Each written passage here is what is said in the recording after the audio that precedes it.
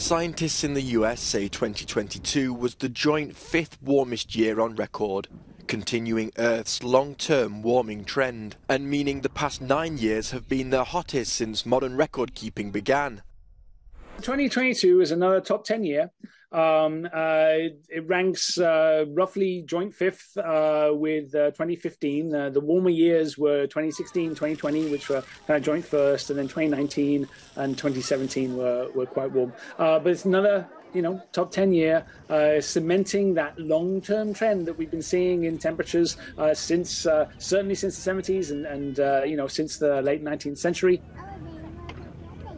So we're anticipating that 2023 uh, will be warmer than 2022, uh, both because the La Nina severity or intensity will be will be less, but also because you know you got another year of the long term trends.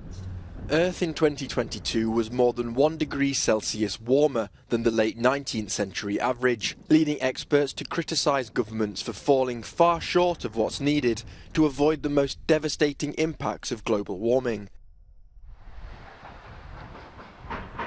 Greenhouse gas emissions were linked to a number of natural disasters last year, including drought, heat waves and wildfires, which ravaged swathes of Europe during the summer.